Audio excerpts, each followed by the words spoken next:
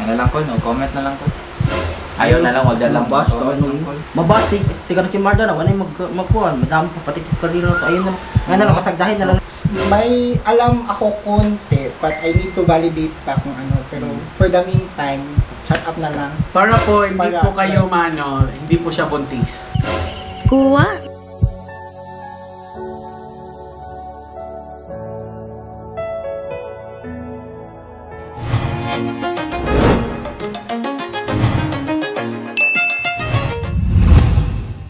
Hello everyone, this is Jasper Amorin and welcome back to my channel. Yay!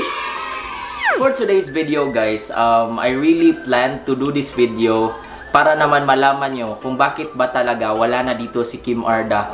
Um, I think you also noticed na marami nang nagko-comment, marami nang nag-re-react sa mga posts namin and our vlogs na Ba't wala na dyan si Kim Arda, kuya? Bakit, bakit nyo tinanggal si Kim Arda? Um, umuwi na ba talaga si Kim Arda, guys? So, ayun, we need to make it clear and we need to make it public kung ano talaga yung rason na wala na siya dito. And I hope, guys, whatever, whatever, um, whatever things that we'll be talking right now, um, you will still continue to support the group and Kim Arda. And also, before I do the interview, please don't forget to subscribe if you're new to my channel and hit the notification bell. Tara, interviewin na natin sila. So ngayon, first nating i-interviewin, um, first nating i-interviewin are the two the two amazing people na nag ano talaga kasama natin sa journey with Kim Arda. So first Snake Princess. Um, nagtatanong kasi sila kung bakit wala na dito si Kim Arda. So ano ba talaga yung rason? Um, um, guys, umuwi kasi si Kim, guys, kasi nam, namimiss po raw yung yung lugar nila, yung yung bahay nila. Kaya kaya um, umuwi siya, guys, kasi namiss namiss na daw namiss na daw niya pamilya niya. Tulad ko, hindi pa ako nakauwi, pero umuwi din ako sa Burgess, malapit na. Sure So, ka ba yun, yun lang yung rason? Ha, oo, yun lang ang ang rason umuwi siya kasi sinabi niya ako na ah namimiss na po daw yung yung pamilya niya kaya kaya umuwi lang daw siya kasi kasi matagal na po siya hindi, hindi na pauwi sa So yun lang. Ah, so, Uncle, medyo malito. Yes, sir! Ano ba yung alam mong rason kung ba't umuwi si Kim Arda? Kasi iba yung rason na alam ko sa sinabi ni Snake Princess. Sure ka, gusto mong sabihin nga? Ikaw bahala, Col. Ano lang ko, no comment na lang ko. Ayaw na lang, wag na lang. Mabash, Comment ano, Col. Wag na lang, mabash baka mabash mabash tayo. Sige.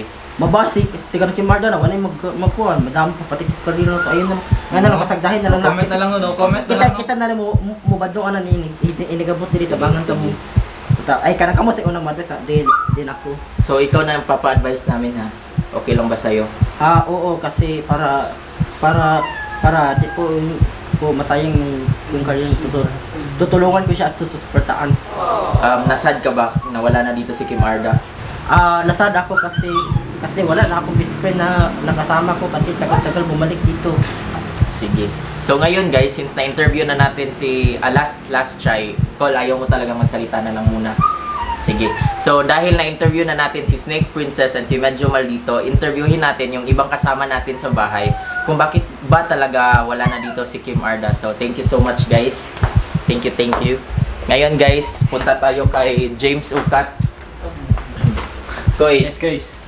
um, di ba palagi ka naman, si James kasi palaging nandito sa sala, so siya yung always na nakakakita kay Kim Arda pag pumupunta siya doon, may mga katawag or kumakain siya dito. Wala bang nasabing rason si Kim Arda sa'yo kung ba't siya umuwi? Actually guys, meron lang ako napansin sa kanya, meron sa mga kilos niya, parang may nagbago konti, parang parang hindi siya normal. So, pero yun nga, hindi ko alam kung ano talagang iniisip niya kaya mas maganda kung siya talaga yung ma ma ma, ma si tawag na sa Tagalog sa mga istorya. Kausapin. Oh, mas maganda talagang si Kim Arda talagang kausapin natin para mas ma-express din niya kung ano yung gusto niya sabihin para sa lahat. Yes. Okay, okay. So yun lang ba? Yes, yun lang po. Idol champion. Feel mo ba babalik pa siya or hindi na? Sana. Sana.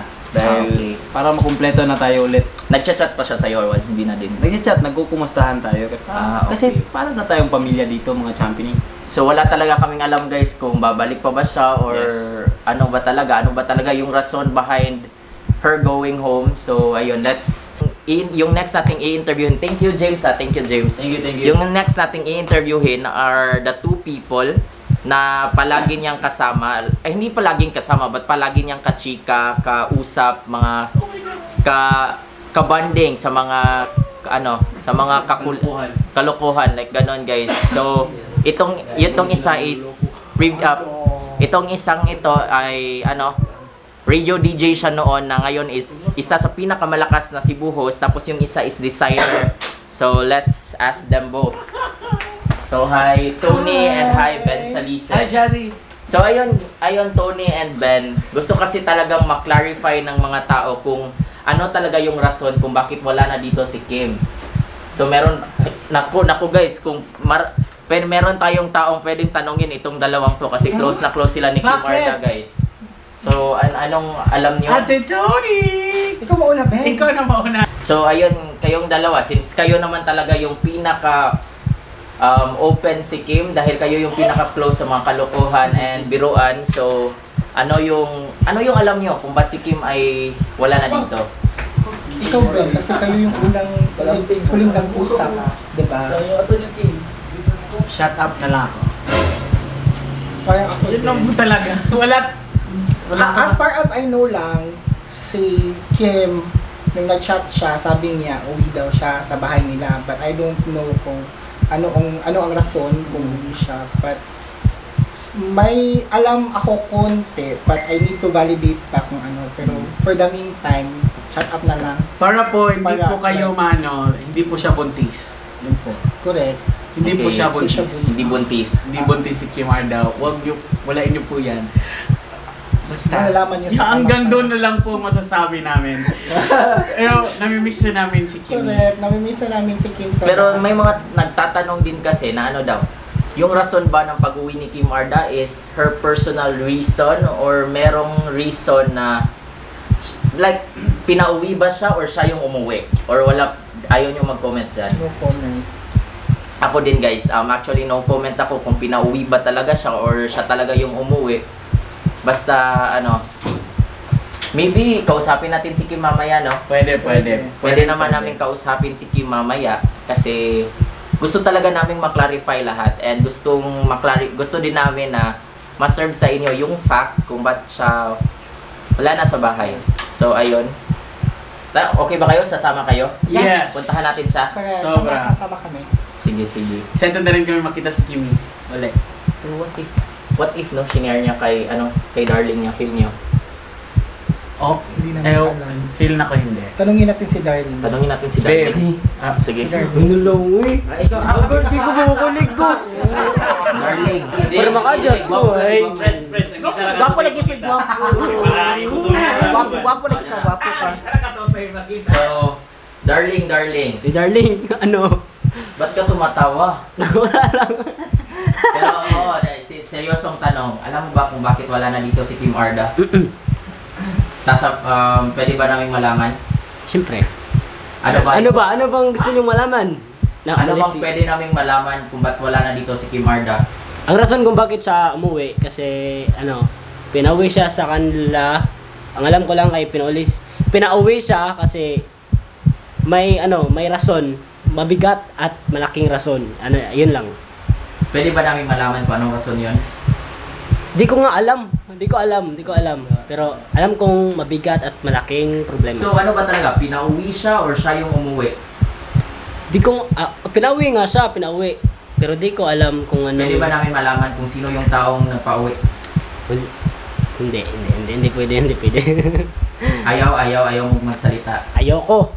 Sige. So ayun guys, um kaming lahat dito, ayaw ko ding magsalita talaga guys kasi I don't want to invade the reason and Kim's reasoning kung bakit talaga siya napauwi and ba- or bakit siya umuwi.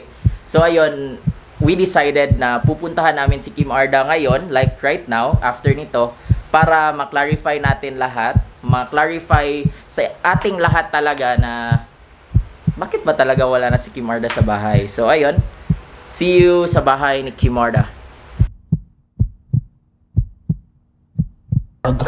So ayun guys, nandito na kami kina Kim Arda guys, kina Kim. So let's let's talk. so ayun, let's sundo her now para makausap natin siya. Tara guys. Let's go! Tara tara, let's go. Bye-bye. So ayun guys, andito na si Kim Arda guys with us. So Kim, maraming marami kasing nagtatanong na ano, ba't ka daw umuwi or ba't ka daw pinauwi. So di namin masabi, ako di ayaw ko magsalita. Tapos sila ni Tony, sila ni Ben, kaming lahat ayaw namin magsalita. Pero si Snake Princess sabi niya ano daw, umuwi ka daw kasi na-miss mo daw yung pamilya mo. Pero gusto talaga naming malaman kung ano ba talaga yung rason. But first, ba't ba namamaga yung mata ni Kim Arda guys? Um, um, umiyak kasi ako guys kasi hindi ko inakala guys na um, kuha. So, yun, eh. Kunin. Kun, kukunin pa ako nila Kuya Jasper dito guys. Then yun po guys, umiyak ako galing guys. Sige, so ano ba talaga yung rason Kim kung ba't ka ba't ka nandito? Pinalayas ka ba or umuwi ka? Umuwi ka lang. Mm, Um, Sabihin mo na. Sabihin mo na. Kaya mo yan. ah, ano kuya, um, umuwi ako um, kasi pinapalayas din ako then yun, na-miss ko na din yung pamilya ko. Both So ayaw mo nang ayaw mo nang sabihin yung full reason, ayaw na lang, wag na lang. Huwag na lang. Sige, we respect your ano, we respect your privacy and I also respect your privacy kaya ayaw ko talagang sabihin yung rason, guys. But ayun, Babe. yes. Sabihin sabihin na lang natin yung ras- rason. Babe. Sige, sige. Sabihin na natin yung rason, darling. Darling, Darling, dito, darling. Darling! Ba't ka may bag, darling? Kaninong bag yan, darling? Kay Kimorda! Ba't ba nagdala ng bag si Kim Arda? It's a prank! It's a prank! It's a guys. Um, ano guys, umuwi umuwi dito si Kim guys kasi na-miss niya yung family niya guys. Walang kadramahan. Walang dramang nangyari guys. Ano lang yun guys, mga mga wala lang, char-char lang. Ayun, nag, nag, nagdala na ng bag si Alfred, yung bag ni Kim Arda guys kasi ano, babalik na kami sa bahay. Babalik na si Kim Arda sa bahay. Yes! Kumusta bakasyon Kumusta bakasyon mo, Kim? Okay lang kuya, may team. umitim. Hindi na, di naman halata, no? Ah, Oo. di naman halata, di na hindi umitim si Kim Arda, guys. Ano lang, konti lang. so ano, excited ka na ba makita si best friend? yes, excited na. Excited ka na ba makita yung mga aso? Yes, excited na talaga. Uh, so excited na din kami, guys. So ayun, this has been Jasper Amorin. And I'm Kim Marda. Fredo Oles na. And I hope you enjoyed this video. Please don't forget to subscribe. Bye-bye! Bye, asase. Oh, bye, Daddy. Da- Nandun si Daddy and si Kuya, guys. Bye. Bye, Kim Arda's house. o, tingnan nyo, guys. Maliwanag sa camera ko, guys. But actually, guys, grabe na yung fog dito sa bukid, guys. Pakita natin, Tony. O, tingnan nyo, guys, oh. Grabe na yung ano, grabe yung fog sa bukid, guys. And tingnan nyo dito, guys. Tingnan nyo dito, guys. Ito, baka may, ma may mahagilap tayo dito, ano, mga espiritu. Guys, tabi Korea Buyag. Ayun, guys. Di nyo talaga makikita, guys. Pero grabe yung fog, guys. Grabe yung fog sa bukid, guys. And dito ako nanguha ng mga ano, yung yung pampas grass. Di nyo din ma, ano, makikita. Pero ayun siya guys, grabe yung fog and then nandun, nandun yung bahay ni Kim Arda guys and nandun yung mga kasama natin. So, uuwi na kami guys. Yes, bye-bye.